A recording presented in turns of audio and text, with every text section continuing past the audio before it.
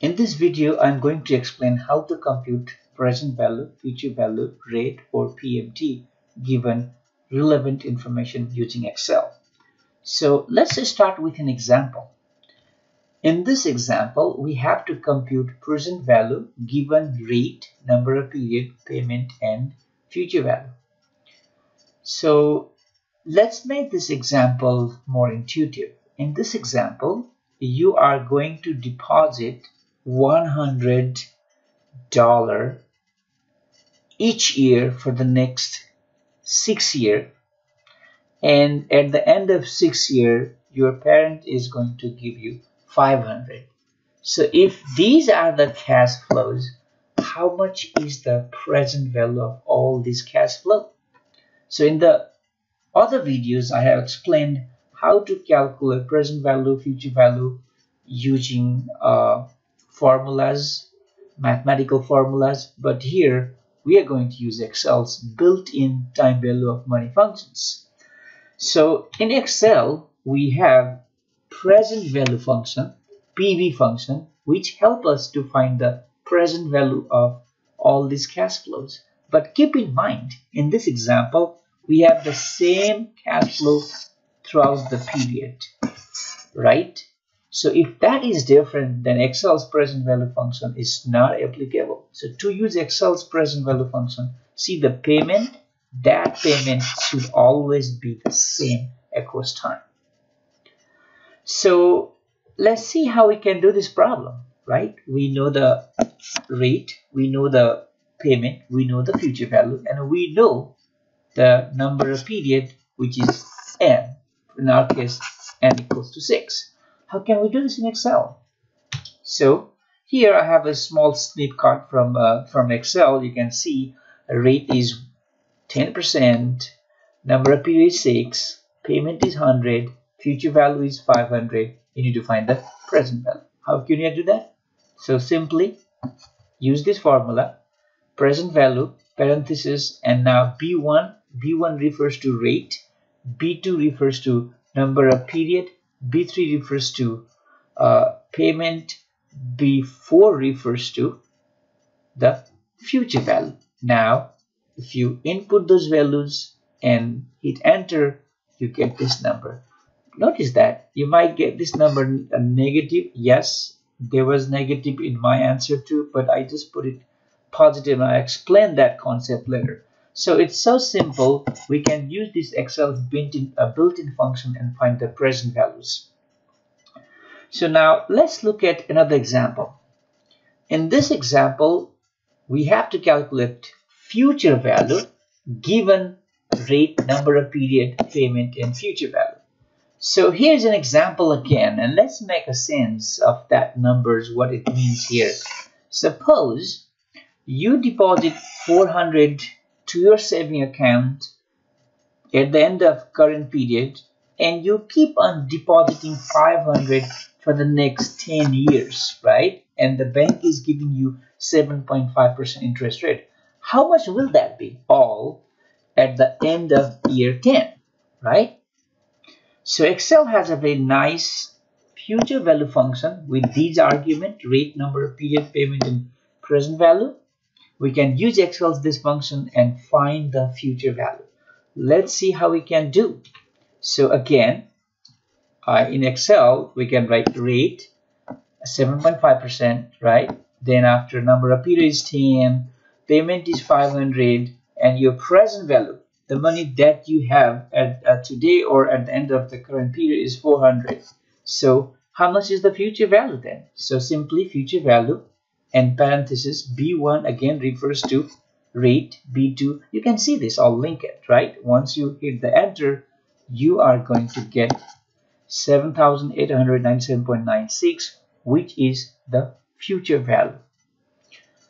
So again you might see negative and I still haven't explained this but I'm going to explain in the next two videos uh, how we take care of that negative and positive value. But here I'm just focusing on how you input these different numbers to use Excel's built-in function. So let's look at another example. And here in this example, you have to calculate rate given number of period, payment, uh, present value, and future value. And here's an example. And again, let's let's try to uh, make this example more uh, practical.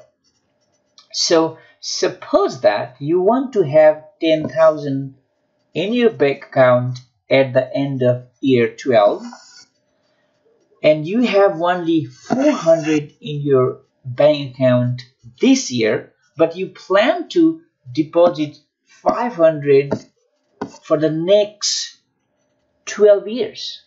So how much should the interest rate be so that you will have 10,000 at the end of year 12 right so to find this kind of problem here, you need to find the rate given all other information, right? So Excel has a nice function called rate. You can use Excel's rate function given all other input variables, right? You can easily use it. And notice here, I have written payment negative and future uh, present value negative, whereas the future value positive. How do you decide which value has to be positive and which has to be negative. And I have uh, thought about it, and I think one technique works pretty much all the time. That is, think of this cash flow as an inflow versus outflow. If the money is coming to you, this is inflow, and if the money is going away from you, that's outflow.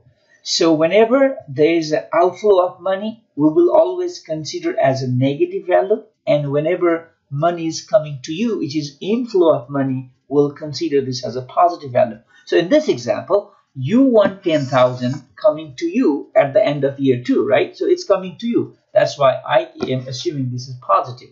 But to have that 10,000 coming to you, you must deposit 400 this year or you already have it and you have to deposit 500 for the next 12 years, right? So these all the cash flows are all outflows. That's why it's negative. So keep this in mind. If the money is coming to you, it's positive. If money is going away from you, it's negative. So how you would do this in Excel? Here's the example. So we need to find rate, right? Everything else is given. Number of period is given.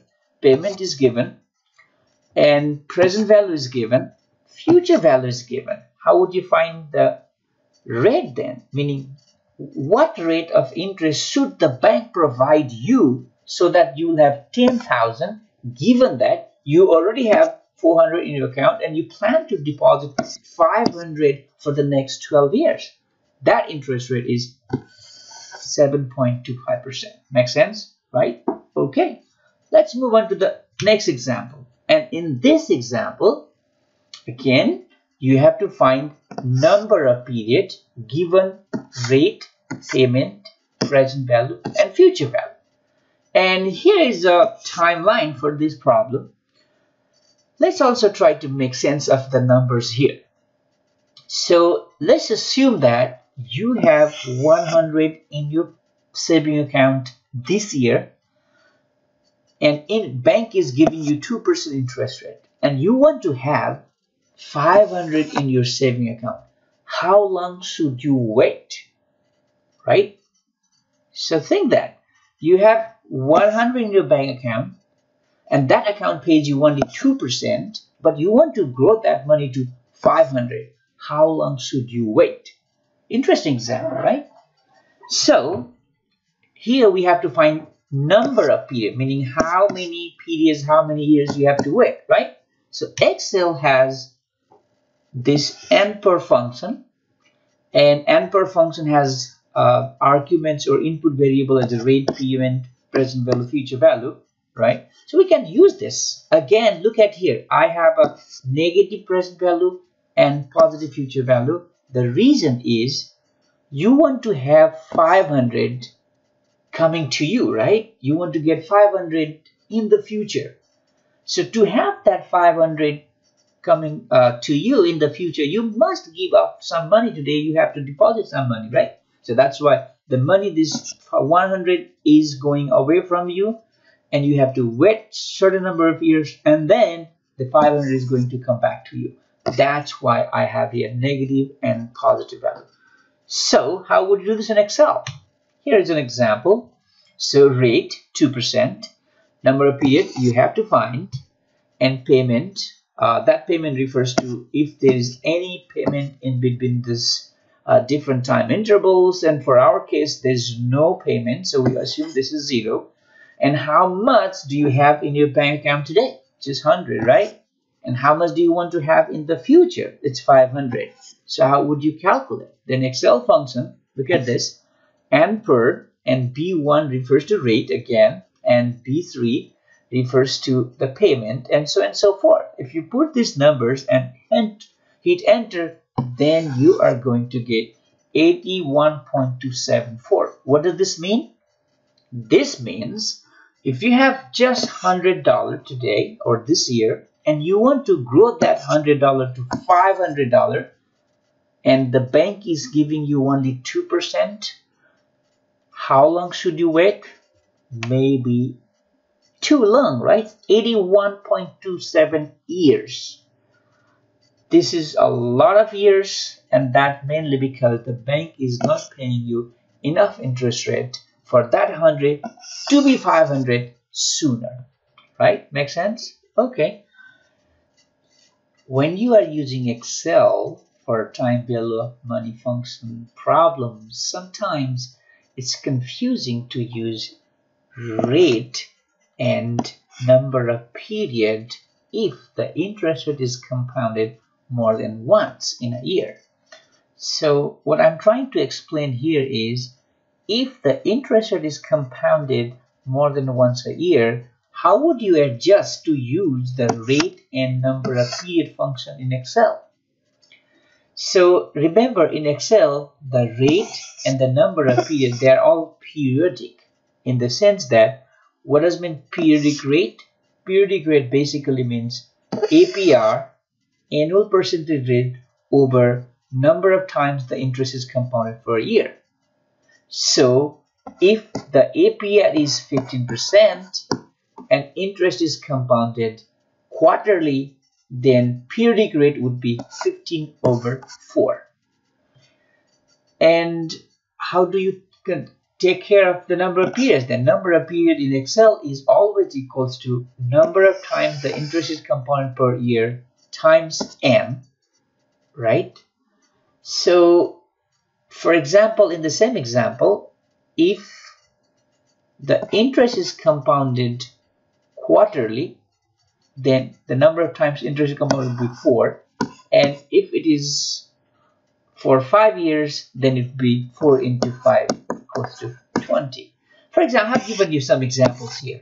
So let's say that compounding is annual, right? So if the compounding is annual, the rate and APR, no adjustment needed, and number of period equals to the number n, so no adjustment needed. So, so far the example we have discussed today, all we consider that annual interest compounding, meaning only uh, interest is compounded only once a year. But what if the interest is compounded more than once? For example, monthly. If the interest is compounded monthly, then the rate in Excel function is equals to APR over 12. And number of period is going to be n into 12.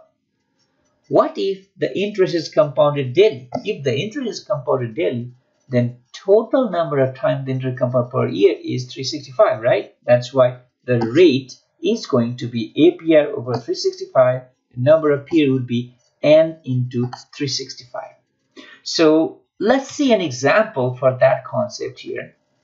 And in this example, I'm trying to explain that.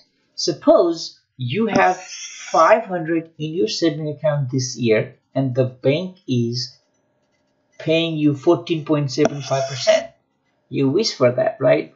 Okay, let's let's assume that the interest being paid to you is 14.75% and you have 500 in the bank account. How much will that be at the end of year 5 if the interest is compounded monthly? So in this case, what is rate? So the rate is see it's 14.75 right over how often the interest is compounded it's monthly that means 12 times a year then rate that you are going to use in Excel is going to be uh, uh, 14.75 over 12. And what will be the N for them? N PER, number of period, that is going to be have 5 years, but interest is compounded monthly. So number of period would be uh, 12 into 5, that equals to 6. So present value is there, future value there. There is no payment, so we assume that payment is zero. So with this information, now you can use Excel and calculate the future value. For example, that's what I have just done here, and we have uh, we have uh, number of compounding period, we have APR, and now number of years there. Rate simply B2, which means APR over B1 number period. So you have 1.23% rate, number period is 60, payment is 0, and the present value is 5, and future value. You can use this function and calculate the future value. I hope this helps you to use Excel for solving time and uh, time value of money problems. Thank you.